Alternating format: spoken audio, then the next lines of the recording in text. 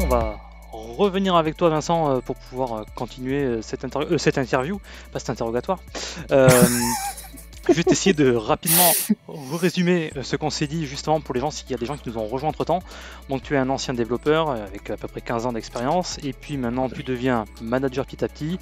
Tu as fait de l'agilité tout seul, qui est un concept à part entière. Et puis maintenant, ce qu'on va essayer de faire, c'est de voir un petit peu bah, justement comment tu vas t'entourer, comment tu vas réussir à constituer ton équipe. Ouais. Et pour ça, donc déjà, on se posait nous des questions. Euh, bah, comment on fait pour recruter des gens aujourd'hui? Voilà, Est-ce que ça se passe par Pôle emploi? Est-ce que vous mettez des annonces dans des journaux? Bon, je pense qu'il c'est quand même assez différent maintenant, mais est-ce que tu peux nous en dire un petit peu plus déjà? Ouais, bien sûr. Euh, alors le process, euh, bon, au départ, déjà, faut au sein de la boîte, faut identifier qu'on a un besoin et que on a les moyens de recruter quelqu'un. Donc c'est validé au niveau budgétaire ou tout ça. Bon là c'est quelque chose que je maîtrise pas tellement. Hein. C'est pas mon problème quelque part. Euh, mais une fois que ça s'est validé, euh, il faut créer l'offre de recrutement. C'est-à-dire ce, ce, que les candidats vont voir sur les sites internet, tout ça. Alors ça c'est le premier truc qui m'a surpris au départ quand, quand j'ai parce que c'était la première fois que je faisais ça et c'est vrai que tu dis bah oui tiens euh, comment on fait ça? Donc il faut voilà, faut expliciter ben c'est quoi le poste, qu'est-ce qu'on attend, euh, quelles compétences on attend. Euh, voilà, quand on demande mais voilà, tu, tu voudrais euh, qui qui sache faire quoi? Bah j'en sais rien, je veux, je veux un bon dev, c'est tout. Mais c'est quoi un bon dev? Voilà, c'est une vaste question. Donc voilà, déjà faut décortiquer un peu ça au niveau du poste. De voilà, faut avoir un peu une idée quand même de de voilà de qu'est-ce qu'on va lui faire faire à ce collaborateur. Sachant que pour moi, en plus, c'était encore un peu flou. Déjà, j'étais pas depuis bien longtemps euh, euh, en poste. Et puis en plus, euh, mon équipe, elle a, une, voilà, elle a une vocation assez généraliste. on va faire des applications en client lourd, on fait des API, on fait... on va aider des gens à intégrer des, des, des, bouts d'application, des, des, composants, etc. Il y a une partie, il y a une grosse partie communication parce qu'on a ce rôle de, bah, de mutualisation, etc. Donc euh, ça aussi, c'est une partie assez particulière euh, en tant que développeur. On n'est pas du tout euh, les développeurs qui sont dans leur coin à développer sans parler à personne. Donc ce que je trouve hyper intéressant personnellement. voilà, qu'est-ce qui est intéressant? On est voilà, très autonome du coup sur, sur nos développements. et puis et puis voilà, il y a cette volonté de pousser vraiment les bonnes pratiques et l'état de l'art euh, du dev et, des, et de, de l'agilité. Donc ça aussi, ça fait partie euh, finalement de, de, de, ce qu'on cherchait pour euh, voilà, avoir quelqu'un qui était sensibilisé à toutes ces, ces problématiques. Quoi. Parce qu'on, effectivement, on a, on a eu, j'ai eu un, au moins un qui, on, lui parlait d'agilité et pour lui, bon, non, il voyait pas l'intérêt, quoi. Ça nous a un peu désarçonné. C'est rare. Alors c'est intéressant de, de discuter du coup pour voir comment, pourquoi lui, dans son expérience, il n'y a pas du tout vu l'intérêt de, de, de, ce développement itératif, de, de, cette façon de faire. Donc c'était assez, euh, assez étonnant. Mmh. Voilà, donc ça, donc ça c'est la, la, première grande étape. Après, une fois que cette offre-là est, est, validée, donc les, bah là c'est euh, les, les, ressources humaines, les RH, qui les, les, les recruteurs, qui vont ben, essayer de trouver des gens parce que euh, alors les, les offres d'emploi sont publiées autant que je sache un petit peu partout. Euh, y a, je pense que ça va sur, sur Pôle emploi sûrement. Euh, ça va sur tous les, les job boards euh, type Monster, type, ah, je sais plus trop les, noms de ces trucs-là. sur LinkedIn, bien sûr, sur ce genre de réseau, quoi, tous les réseaux sociaux, tout ça, bah, c'est poussé, c'est mis à jour en permanence. Et donc voilà, là-dessus, on espère qu'il y ait des gens qui, regardent, mais le fait est que, en tout cas à notre époque, c'est pas tellement les développeurs qui vont postuler sur des offres, c'est plus euh, les recruteurs qui vont aller les chercher, quoi. Parce que euh, forcément, tout le monde euh, cherche des bons développeurs. Et les bons développeurs, ils sont souvent en poste, et donc il faut aller, faut aller les, chercher pour les motiver et leur expliquer en quoi nous on a un projet super sympa et leur donner envie de venir. Et du coup, je me mets, voilà, c'est bon, je me suis trompé dans les boutons, mais c'est bon. tout va bien. Et ouais, justement, la question aussi que je me posais, donc là, euh, donc vous avez votre process interne, on va dire, où euh, mm. on est en train de se dire, bon ben voilà, euh, on va ouvrir un poste. Et entre le moment où vous avez décidé d'ouvrir le poste et de recruter la personne, il s'est passé combien de temps à peu près? Est-ce que c'est quelque chose de rapide alors, alors, bah justement, non, moi ça m'a pris, ouais, c'est ça, 10 mois environ. entre le moment où on a créé la, voilà, la, fiche de poste et le, moment où on a rempli le, la position. Sachant qu'on a dû, voir combien 6 ou 8 candidats. Et puis avec voilà, ça c'est ce que j'ai vu. J'ai dû en voir 6 ou 8, mais après les recruteurs, ils, bah, voilà, forcément, ils font un boulot de fou pour essayer de, trouver euh, tous les profils. Je leur tire mon chapeau au passage, parce que euh, ils galèrent quand même beaucoup, je pense, pour, euh, pour trouver voilà, les, les, profils qui correspondent, essayer de, de, trouver ceux qui correspondent peut-être pas sur le papier, parce qu'ils ont peut-être pas les bons mots-clés, des bonnes technos, etc., mais ils sont peut-être hyper intéressants par leur expérience et par leur, leur vécu. Euh, donc c'est ça qui est hyper intéressant à détecter. Et, euh, et voilà, ça j'ai trouvé cette partie. Euh, donc j'ai découvert vraiment ce, domaine finalement du travail cette année. Ça m'a vraiment paru hyper intéressant. ça a été aussi frustrant parce que forcément, c'est voilà, c'était difficile de trouver quelqu'un. On a plusieurs fois, on a trouvé des, des, des profils qui nous qui nous plaisait tout à fait. On était prêt à leur faire une proposition, mais ils ont dit finalement bah, que non, qu'ils avaient trouvé autre chose ou qu'ils préféraient pas bouger à cause de la situation, etc. Parce que ça, forcément, ça n'a pas amélioré les choses, le, Covid. Donc, euh, c'est une situation un peu incertaine. Euh, voilà, donc euh, c'est, mais c'est très très intéressant de même de faire passer les entretiens depuis l'autre côté du bureau. C'est quelque chose. Bah, c'est parfait que tu nous dises ça parce que moi, je me demandais, euh, en tant qu'ancien dev, est-ce que euh, bah, le fait d'être un ancien dev a influencé euh, sur ta manière de recruter ou même de manager? Alors, bah forcément. Alors déjà, ancien dev, c'est un peu prématuré. Je suis toujours beaucoup dev. je, m'occupe encore beaucoup de voilà de, dev très terre à terre. Mmh mais euh, oui, forcément, dans ma façon de recruter, euh, forcément, euh, déjà, on croise un dev, donc on, on se comprend, on est, on est du même monde. Donc là-dessus, bah voilà, c'est on... après on va discuter sur la méthode de travailler, moi de, de ouais, la méthode dont on travaille. Le... j'ai préparé des... des mises en situation finalement où j'ai pris des des cas réels d'un projet réel sur lequel j'étais en train de travailler. Et puis puis euh, voilà, je me suis mis, je me, je, mets à discuter avec le, candidat pour dire bah, tiens voilà, on a tel projet là sur la table avec telle problématique, euh, qu'est-ce qu'on fait quoi? Donc ça permet de, discuter, voir un petit peu quel type de solution euh, il va trouver, c'est pertinent, c'est pas pertinent, c'est voilà, c'est une manière de, ouais, jauger quoi. Et sur le, métier de dev, donc forcément là-dessus on, se comprend ça porte ce prisme un peu technique. Euh, ouais, ouais, forcément. Ça, c'est clair que j'ai ce background technique. Euh, mm. C'est important. Et, euh, sur le plan managérial, du coup? Alors, bah, sur le plan managérial, alors ça, c'est. Ça, forcément, quand j'ai quand, quand, quand j'ai accepté le poste, je me suis dit, bah tiens, je vais pouvoir manager des gens de la manière dont j'aurais été, j'aurais aimé être managé moi. Donc, euh, donc voilà, là aussi j'ai dû, bah, je suis quand même beaucoup intéressé à c'est quoi le management, euh, le management agile. Mm. Euh, donc là aussi, c'est, il s'agit vraiment de, de, sortir du management entre guillemets à l'ancienne, très directif et très de, de, haut en bas, quoi. C'est pas du tout comme ça que je vois les choses. moi, ça rentre vraiment dans une démarche d'agilité où le manager, il doit être l'accompagnant, le facilitateur pour faire grandir finalement euh, euh, son équipe. voilà, c'est-à-dire arriver à former les gens à ce qu'ils grandissent, à ce qu'ils apprennent des choses, leur dire quand ils vont dans le mur, leur dire quand ils font des trucs bien, mm. être toujours à l'écoute parce qu'il y a beaucoup de choses à apprendre aussi. à l'inverse, je, je, je, voilà, je présume pas avoir la science infuse surtout. Euh, voilà. Par contre, je me suis effectivement euh, aperçu que euh, avec 15 ans d'expérience dans le dev, bah, j'avais quand même des choses à apporter.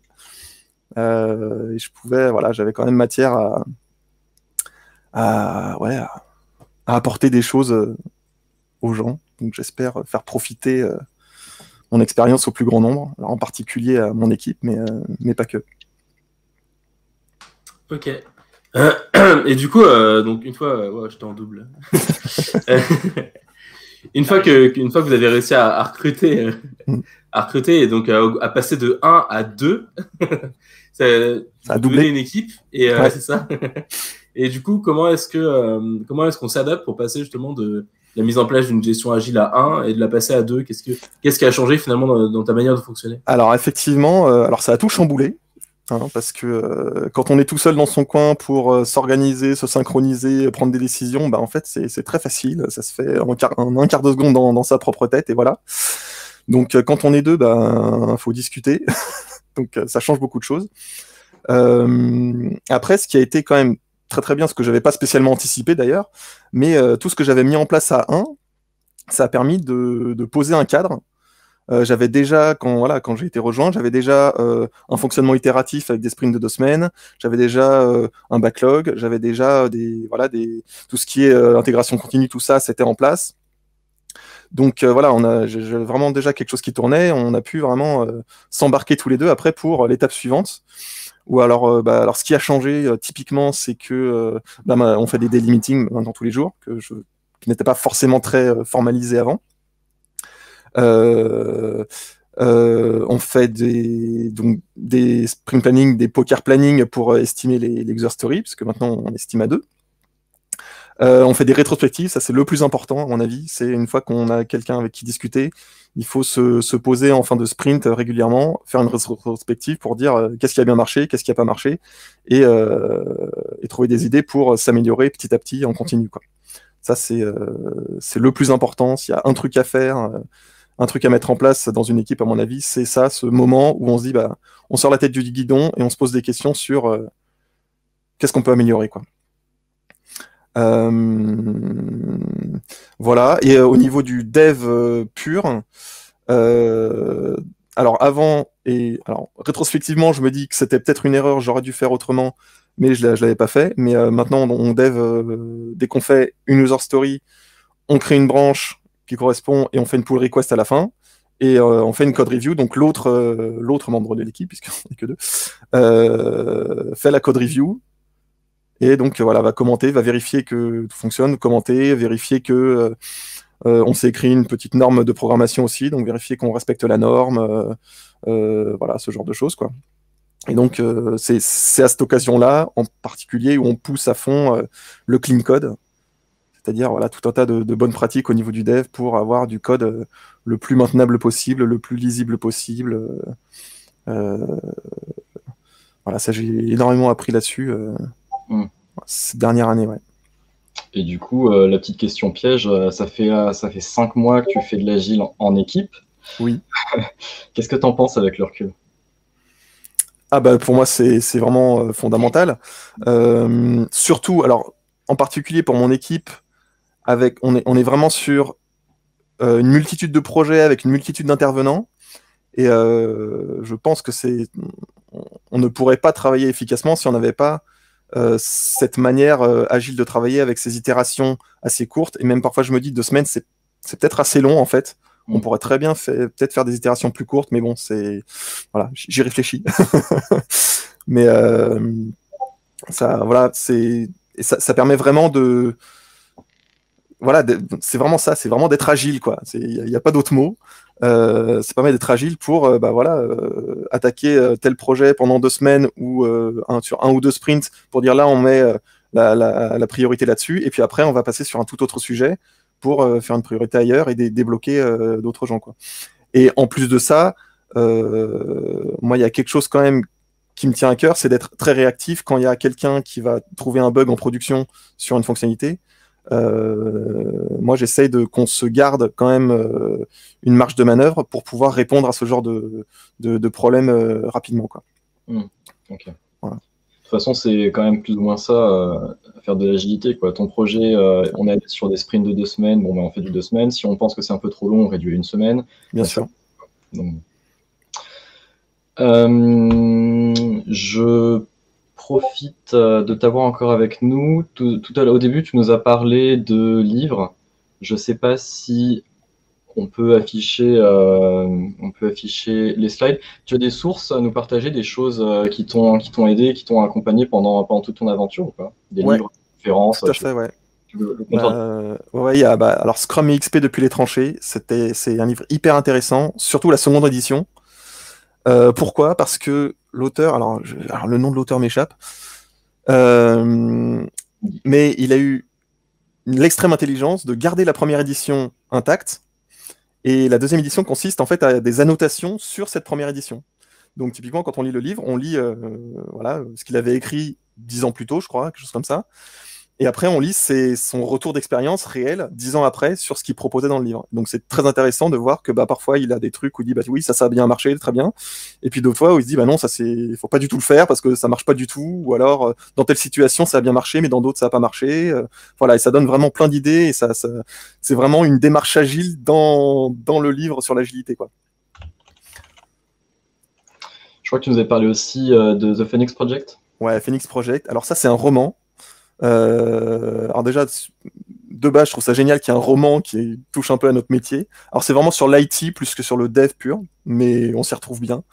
Euh, c'est donc l'histoire en fait, c'est euh, c'est une entreprise. Le Phoenix Project, c'est le super gros projet de l'entreprise, vital pour l'entreprise, qui remet tout d'aplomb, qui est en fait la réécriture de de voilà, de toutes leurs solutions. Euh, qui, voilà, donc ça fait je sais plus combien d'années que c'est en développement. Euh, et, euh, et, donc ça sort pas, ça sort pas, ça prend des plombs et c'est horrible. Et là, la boîte est en train de, de, de, couler. Il faut absolument que ce projet sorte. Sauf que c'est horrible, il y a rien qui marche, c'est pas prêt. Ils essayent de le déployer, ça fait tout péter de partout. Enfin voilà, toute ressemblance avec une situation réelle ne serait très peu fortuite. Euh, et, l'histoire de ce livre, c'est euh, bah, comment finalement ils font pour transformer leur méthodologie et euh, l'entreprise pour arriver à sortir ce, projet et à, finalement changer leur méthode de travail pour, bah, pour, voilà, pour travailler sans être en perpétuelle urgence et en perpétuellement en train de, d'éteindre des incendies. Quoi. Et donc pendant tout le livre, ils redécouvrent finalement l'agilité, finalement tous les concepts, euh, typiquement les itérations courtes, euh, les, le, déploiement qui doit être fait euh, en un clic, de façon automatisée, tout ce genre de trucs. C'est vraiment très intéressant. Il y avait également un ouvrage sur le Clean Code. Alors, Clean Code, ça c'est ouais, grosse référence de Romer Martin. Ouais. Ça, c'est vraiment des bouquins sur le dev et la façon d'écrire du soft. Euh, voilà, ça, j'ai totalement changé. Après, j'avais voilà, j'avais 14 ans de dev euh, professionnel derrière moi, et là, euh, en ces six derniers mois, j'ai complètement changé, changé ma manière de d'écrire du code pour avoir vraiment du code ouais, beaucoup plus bah, clean. C'est vraiment ça, clean, maintenable, lisible, bien écrit, quoi. C'est vraiment ouais, une référence. Je, je, recommande à tout le monde de le lire. Ça, ça ouvre des perspectives. Si on est un petit peu plus euh, sur de la vidéo, tu nous, recommandes. Euh, ah oui, alors ça, c'est incontournable. Allez-y tout de suite après le comptoir du dev. Euh, Uncle Bob, donc c'est Bob Martin, l'auteur de Clean Code, c'est un des, un des, fondateurs du Manifeste Agile. il parle très très bien, c'est un super orateur. Et donc sur YouTube, il y a un ensemble de conférences il y en a 6 ou 7, je crois. Donc, il y en a pour 9 heures de conférences euh, qui sont absolument passionnantes sur le métier du dev au sens large. Euh, c'est-à-dire, je crois que la première leçon d'ailleurs qu'il fait, c'est sur vraiment la profession de dev, qu'est-ce que c'est et qu'est-ce que devrait être notre déontologie? Et, et à partir de ça, finalement, il arrive sur le TDD d'ailleurs. Tu me dis, mais comment on peut oser écrire du code qui n'est pas testé? C'est pas possible. Ça devrait pas exister. Voilà. Et donc c'est vraiment passionnant. Il parle donc de déontologie, de voilà, de vraiment sur notre profession de dev, et euh, il parle de TDD, de clean code forcément. Euh, voilà, c'est vraiment euh, passionnant. Il fait d'ailleurs une démonstration de TDD. qui est géniale, il faut, il faut absolument la voir. il écrit bêtement une stack voilà, en TDD et ça c'est voilà, là, on comprend vraiment qu'est-ce que c'est que cette méthodologie, comment on est censé travailler et pourquoi c'est, totalement contre-intuitif et inhabituel. Euh. Ça, ça fait réfléchir à l'envers le TDD en vrai. Au départ, quand on commence, c'est vraiment ça. Et nous, on aime beaucoup les podcasts.